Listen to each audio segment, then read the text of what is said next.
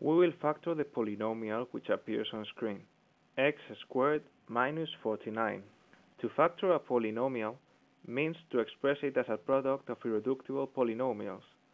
In our case, we are going to express it as a product of grade 1 polynomials, which are irreducible.